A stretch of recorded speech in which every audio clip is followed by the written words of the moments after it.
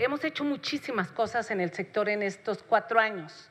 Se ha hecho muchísima infraestructura y una obra que no se había hecho en 40 años y que se pretendió hacer con la refinería Bicentenario y que no se concluyó, o como la rehabilitación de Minatitlán, que fue un tren de refinación que duró 10 años en el gobierno del presidente Fox y Calderón, pues no es entendible que en tan poco tiempo tengamos tan buenos resultados. Y en este sentido, tanto el senador Pérez Astorga como la senadora Xochil Gálvez hicieron preguntas al respecto de dos bocas, que me encanta porque me da oportunidad de explicarles a ustedes y al pueblo de México cómo es este proceso de ejecución acelerada, cómo a nivel mundial Dos Bocas es ejemplo en la construcción y en la aplicación. Y cómo en el Consejo de Pemex hemos propuesto y se ha aprobado los diferentes montos. Y cómo nos hemos ahorrado recursos y tiempo.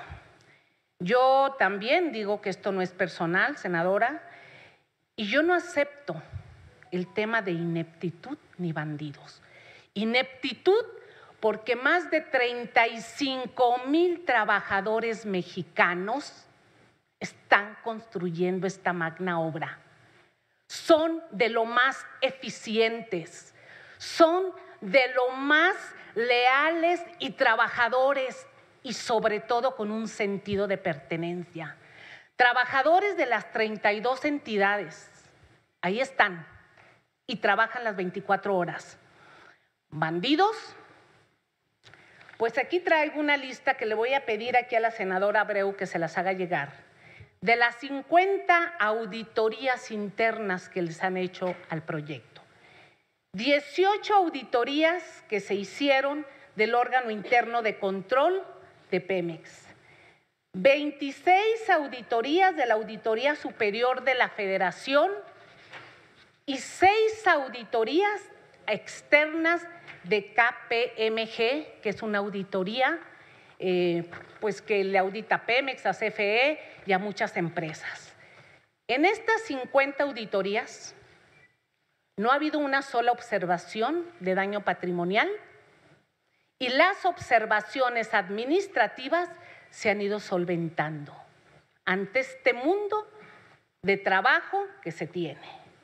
Entonces se lo voy a dejar para que a todos los eh, senadores, a todos, se las eh, compartan y puedan preguntar al órgano interno de control, al auditor superior de, de la federación. Engañar al presidente, difícilmente se engaña Andrés Manuel López Obrador. Cada semana, desde que inició esta obra, se hace un reporte visual físico y cada tres, cuatro meses se entrega un reporte de avance. Pero también el presidente varias veces ha ido a la refinería a ver cómo vamos trabajando y se le hace un reporte de todos los técnicos de las compañías y de los EPCistas.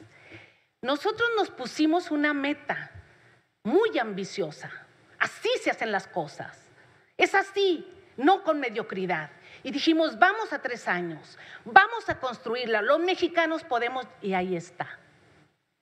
Felicidades a los trabajadores y a los técnicos de Pemex, porque ellos lo han logrado, lo que nadie pensó que se iba a hacer.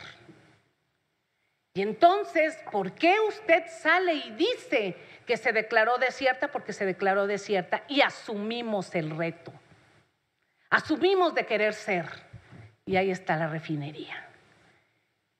Y está abierta todos los datos que me está pidiendo la senadora Xochitl con mucho gusto.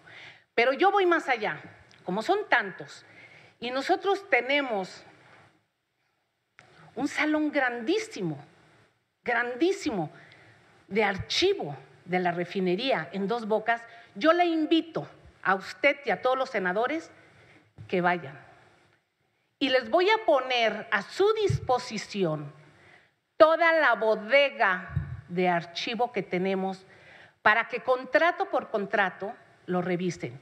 Y les dejo una oficina ahí en Dos Bocas para que dejen ustedes a sus auxiliares o a sus contadores para que revisen todas las dudas. Me pide el software. El software no se lo puedo dar, porque ese es de Pemex, es estratégico. Cualquier empresa petrolera lo resguarda. Es lo único que no le puedo dar. Todo lo demás, adelante, para usted y todos los senadores. Eso no tengo ningún problema. Responsabilidad en las válvulas de bloqueo automático. Yo no sé qué asesor le dio esto, pero pues por supuesto, la seguridad, las, válvulas de bloqueo son más de 200 mil válvulas que estamos calibrando y colocando. ¿Cuántos muertos? Afortunadamente, ninguno dentro de la obra. Hace meses, hace dos meses, hubo un fallecido donde a una empresa uno de los eh, tuberías, estaban afuera, rodaron las tuberías de un stand y le cayó a un trabajador. Tuvo un deceso, fue fuera de la refinería. Es el único. No hay ninguna muerte, no hay nada de todo lo que le están comentando. Sobre MTB, para la gente que me escucha, el MTB es un aditivo que se llama metilterbutiléter que se utiliza como un aditivo en las gasolinas.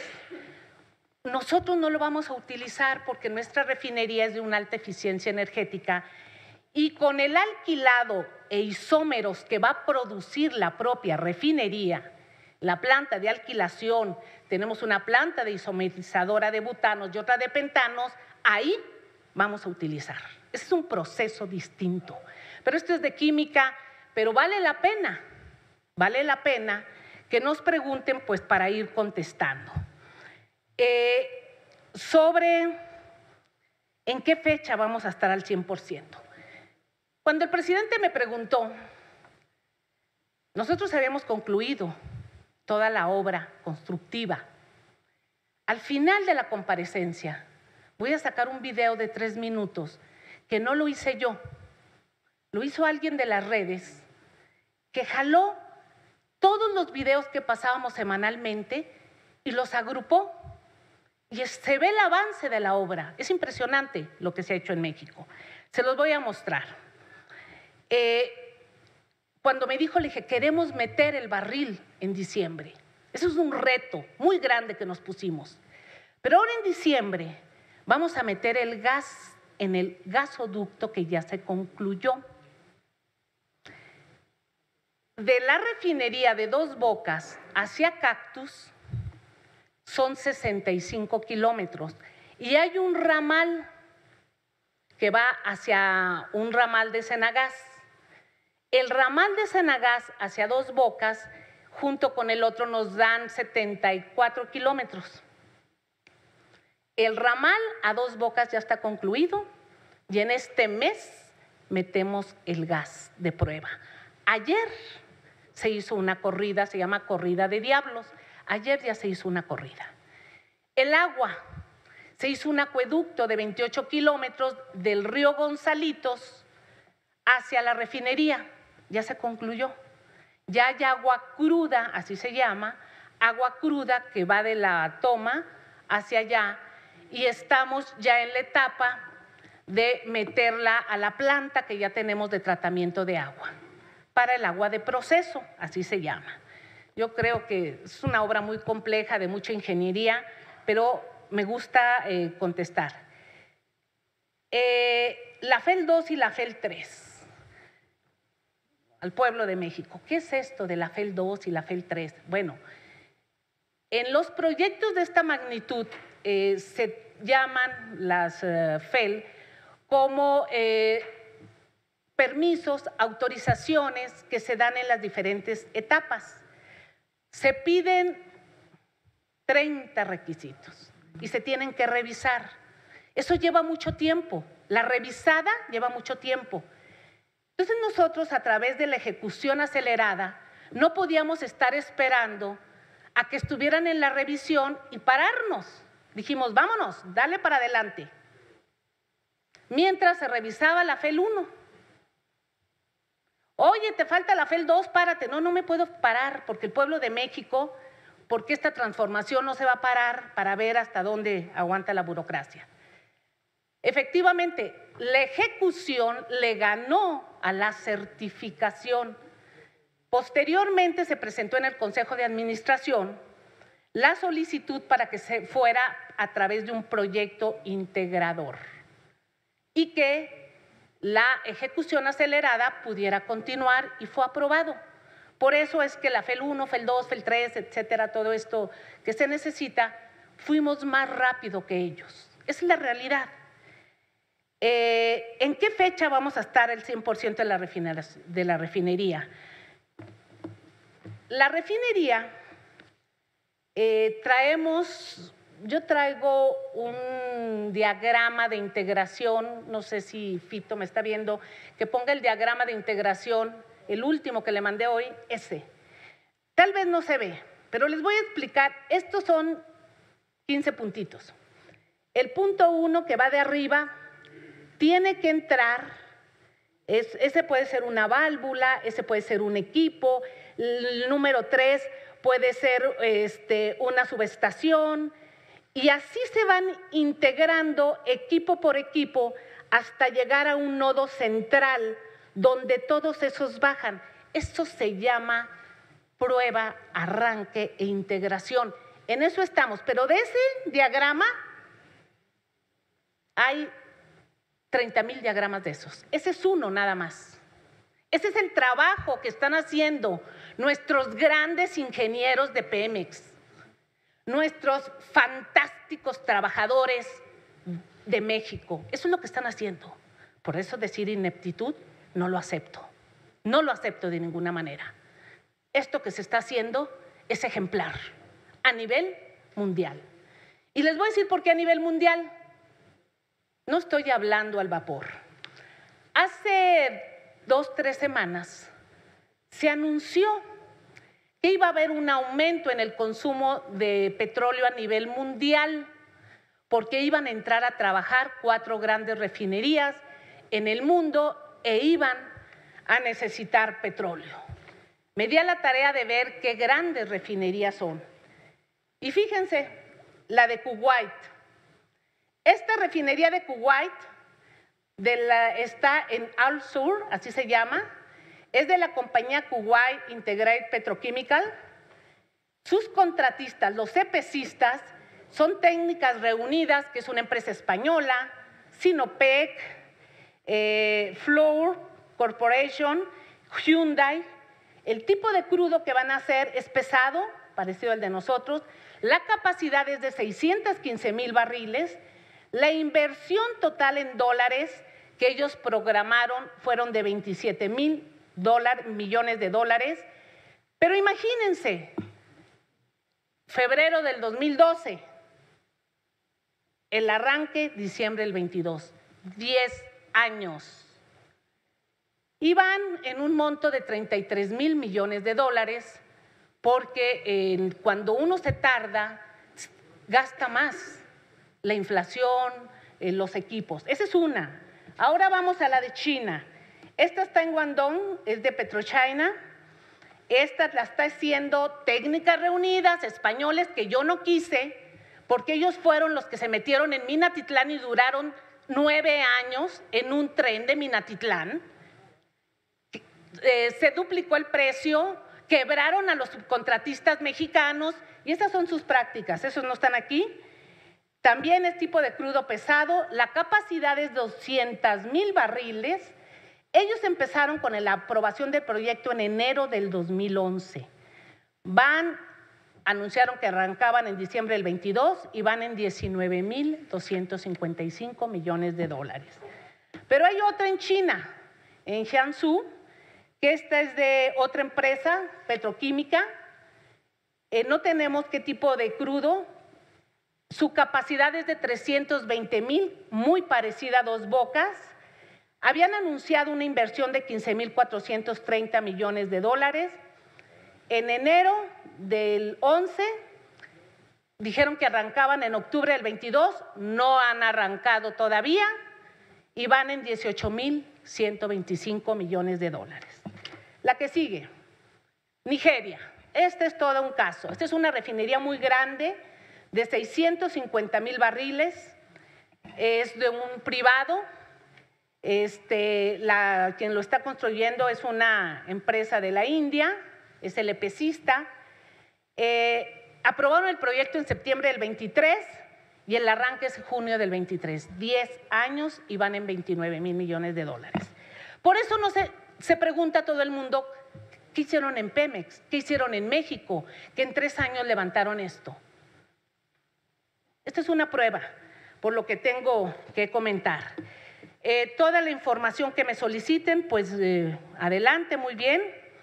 Sobre las pruebas de presión, que dice usted, pues que no pueden ser, sí, se llaman pruebas de presión hidrostática cuando todos los equipos grandes se someten para ver que aguantan la presión, que no tienen fugas y todos los equipos, los 100 eh, tanques, más de 100 tanques que tenemos y todos los equipos ya se sometieron a una prueba de presión hidrostática certificada. Eh, y si van a dos bocas, pues lo van a ver. Yo no tengo ningún problema. Este, esas eh, se hacen y además están certificadas por empresas que, avalan que pasaron dichos, dichos pruebas. La otra que tengo sobre la senadora Cora Cecilia, sobre Puerto Peñasco, efectivamente es de mil megawatts, ya está en construcción, va avanzado, van muy rápido. Es, eh, son mil megawatts de energía eh, eh, solar, pero al mismo tiempo la CFE está haciendo dos ciclos combinados, uno González Ortega y el otro es San Luis Río Colorado, porque es energía intermitente y cuando estos mil megawatts dejen de producir a las 7, 8 de la noche, debe de meterse el respaldo. Entonces lo están haciendo muy bien. Eh, la rehabilitación del Sistema Nacional eh, de Refinación, bueno, efectivamente nosotros llegamos y encontramos la capacidad de, refinación está operando al 35, ahorita estamos casi al 70%. Eh, toda esta semana, aquí está el ingeniero Rocha, el encargado, trajo un millón de barriles de proceso. Este, y cuando nosotros llegamos pues, estaba muy bajo, estaba 480 mil barriles, 500 mil barriles por ahí. Entonces, sí vamos. Eh, nuevamente le contesto a la senadora Xochitl sobre los 200. Usted dice que compramos 80, 80 equipos críticos. No, compramos 215 equipos críticos. el gasoducto, pagos y derechos de vía, ya está todo pagado y con mucho gusto se informa uno a uno a quién se le pagó de los eh, dueños de, los derechos de vía. El ácido fluorhídrico y el catalizador, híjole, esto está bien interesante. La refinería, cuando se licita, se dice, aquí está, esto va a costar las plantas, la refinería. No incluía el área administrativa, los catalizadores y el ácido fluorhídrico eh, son eh, recursos de operación, pero se deben de cargar al inicio. Entonces ya se compraron dentro de la ampliación que aquí traigo de las carpetas de Pemex, del Consejo de Pemex, se les dijo, esto es lo que cuesta la refinería. CFE necesitamos que nos des 280 megas, en la zona no hay. Vamos nosotros a hacer la cogeneración. Vamos a dejar la refinería autónoma. Tuvimos que pedir autorización para hacer la cogeneración. Todo esto sin impuestos. Cuando hicimos la cotización, la presentación, es esto va a costar la refinería sin impuestos. Posteriormente regresamos al consejo y les dijimos, es esto, pero tenemos que pagar los impuestos, tengo Hacienda encima. Y fíjense también para la gente que me escucha, los impuestos, como es una inversión del Estado, Hacienda me dice, bueno, aquí están dos mil millones de dólares de impuestos. Me los da y yo se los regreso. Pero se contabilizan. Así es. Pero es dinero que me da Hacienda del proyecto y que yo se lo regreso a Hacienda. Son impuestos que se tienen que pagar, tuve que ir al Consejo. Y el tercero que fui al Consejo fue para las obras alternas o externas. En estas refinerías que yo les mostré aquí, tienen obras alternas y externas. No sabemos si tienen muelles, no sabemos su gasoducto, qué tanto eh, de kilometraje tiene, pero son este, datos que ahí están. Entonces yo tuve que llegar a decir, esto es las obras alternas. Llámese gasoducto, acueducto.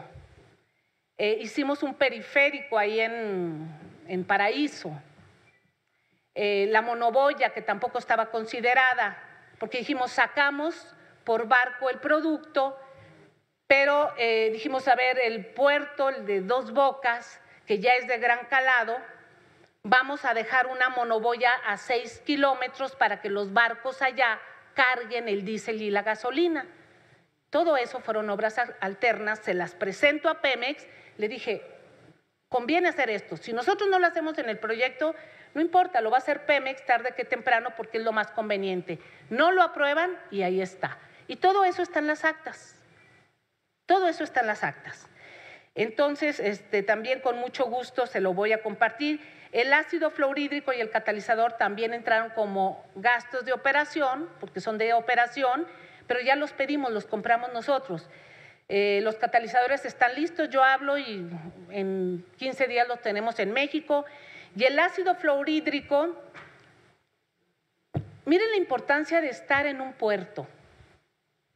El ácido fluorhídrico es un ácido eh, pues, eh, muy peligroso en su manejo, explosivo, y se maneja con mucho cuidado. Nos lo van a mandar por barco. Hay un buque tanque, un buque barco, no sé, un buque tanque que viene de Luisiana a Coatzacoalcos. Allí en Coatzacoalcos ya está una rampa donde bajan los trenes. Se suben los trenes a un barco y se bajan. Bueno, pues ese nos lo van a subir por tren y se va a desviar tantito. En lugar de llegar a Coatzacoalcos, se va a desviar a dos bocas y ahí con una grúa vamos a bajar el contenedor de ácido fluorhídrico. Ya hablamos con las empresas, ya se compró en Estados Unidos y yo creo que en unos dos meses y medio, dos meses y medio tendremos ya el ácido fluorhídrico, porque su manejo es muy delicado. Estamos hablando de, cosas. Entonces también eso. Eh, la deuda de Pemex en este sexenio. Miren, yo tengo unas gráficas impresionantemente bien. Cuando llegamos nosotros, a Pemex no se ha endeudado, esta es una gráfica del 2007 al 2012. La primera es el aumento de la deuda de Pemex. Fueron de 286 mil millones de pesos. En esos años se endeudó el gobierno a través de Pemex y Pemex no hizo ninguna infraestructura. No hizo ninguna infraestructura. Ahí está. Y en la otra, ahí tenemos los excedentes petroleros. Tuvimos excedentes petroleros de 279 mil millones de pesos acumulados. Yo aquí tengo mis dudas porque yo tenía los datos en, en dólares, pero los vamos a dejar así.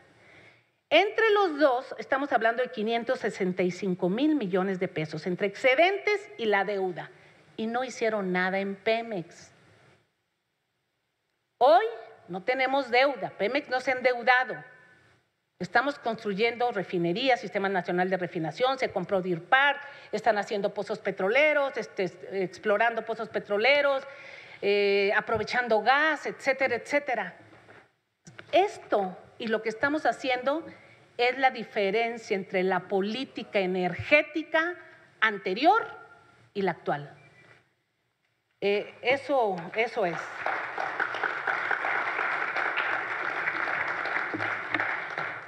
Eh, sobre las tarifas de la CFE. Sí, senador. Sí, eh, lo que usted me dice, me lo han dicho varias personas, y vale la pena hacer una revisión de las tarifas en los municipios.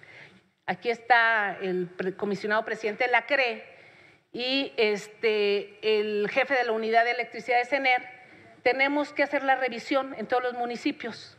También está una persona aquí de la CFE y tenemos que hacerlo.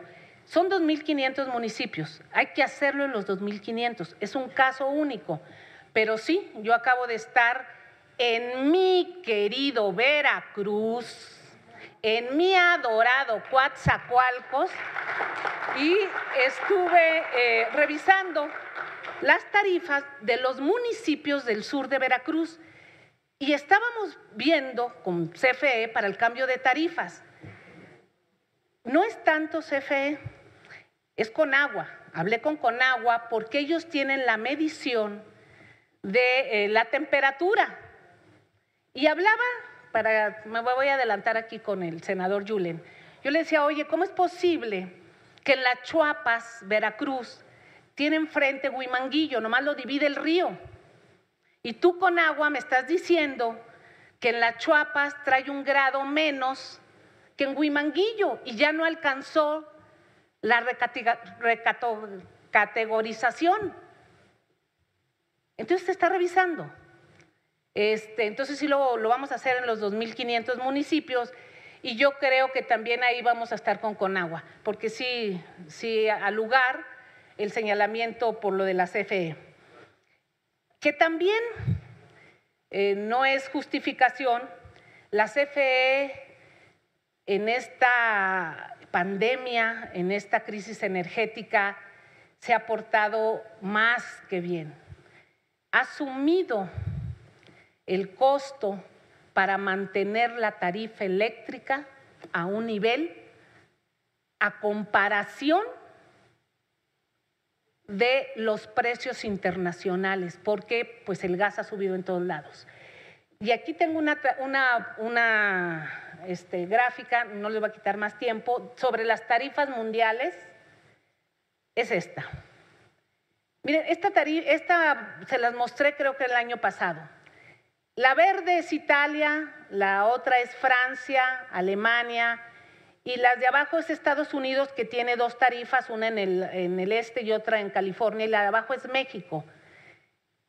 ¿Cómo empezaron a bajar las tarifas? Esto estamos en el Senado y lo deben de saber los senadores porque es eh, internacional, es un tema internacional. Si ustedes se fijan, de abril, eh, de agosto a septiembre empezaron a bajar las tarifas en Europa. ¿Por qué? Porque tenían gas almacenado. Ahorita empezó otra vez a subir la tarifa, se, se están acabando sus reservas de gas, más el conflicto que traen allá con Rusia. Y como México, en esta línea roja que va abajo, hemos mantenido la tarifa en el precio mercado, en el mercado mayorista. Y la CFE es el principal aliado. Si no, ya aquí ya hubiéramos tenido una revolución, créanmelo. Entonces, esto sirve también pues para darle su mérito a la CFE y es parte de ello. Eh, entonces, eh, a, eso. Eh, Julian Rementería, senador, sobre las pérdidas de CFE y pérdidas de Pemex, bueno, yo no tengo esos datos, pero los voy a revisar, voy a revisar sus datos. La tarifa de Veracruz, bueno, usted y yo nos hemos encontrado en el camino y a lo mejor nos vamos a volver a encontrar, pero es en otro escenario, aquí no. Y este, senador Napoleón, las concesiones mineras y sus excesos, sí. Nosotros, desde que llegó el presidente López Obrador, dijo no se da una sola concesión minera más y no se ha dado en este gobierno. El impacto ambiental sobre la explotación de litio se está cuidando. Efectivamente, no, no se está extrayendo litio ahorita en México. Eh, la, en Sonora, donde, donde hay litio, claramente, eh, tanto la Secretaría de Energía, eh, litio para México, la empresa, ya hemos ido a ver cómo se va a llevar a cabo el tema qué tecnología hay, de qué manera no vamos a impactar, porque si no estaríamos transfiriendo la huella de carbono que se va a dejar supuestamente en los, árbol, en los coches eh, de fósiles de gasolina para transferirlos a la huella de carbono a un coche eléctrico a través de la explotación de litio. Sería incongruente. Entonces se tiene que cuidar eso, se, vamos a empezar a trabajar, hay que dar pasos certeros, como se tengan que dar, pero certeros. Entonces estamos trabajando con el Instituto eh, Geofísico, Servicio Geológico, aquí está el director de Litio para México que nos acompañó, estamos trabajando este, con el Servicio Geológico, que es el brazo tecnológico en esta materia. Con, eso estamos, con ellos estamos trabajando. Eh, ¿Y qué plan y programa hay para la explotación eficiente del litio? Se está construyendo. No podría yo decirle, mire, este es el programa, no, lo estamos construyendo con pasos. Y sin duda, esta empresa nos va a servir para, como Pemex, como CFE, cuidar los derechos de los trabajadores, tener transferencia tecnológica e innovación. Muchas gracias.